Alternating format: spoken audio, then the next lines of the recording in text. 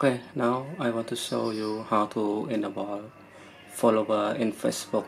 So like this profile, you can see the follower and some profile like my profile. Here no see the follower. Now I want to show you how to enable follower. So start we go to this three point in the right side. After that we go to setting and privacy after we go to setting so scroll down. We click on privacy setting privacy setting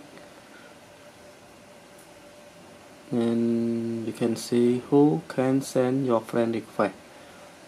So to this point we set everyone. It means everyone can follow you in Facebook after set the friend request to everyone we go to the three point on the right side. Click that scroll down go to setting and privacy. Setting and privacy.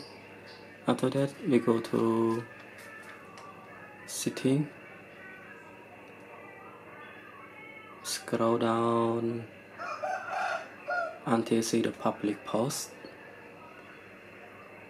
in the public post we can public post who can follow me. So follow me see your post in no feed friend follow your post by default but you can also allow people who are not your friend to follow you public post use this setting to show who can follow you.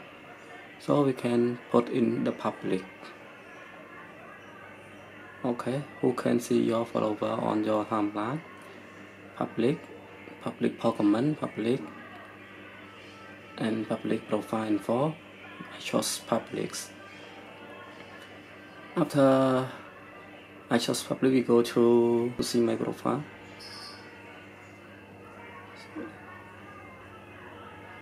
Yes. So after refresh you can see the follower by 509 people. So that's all this video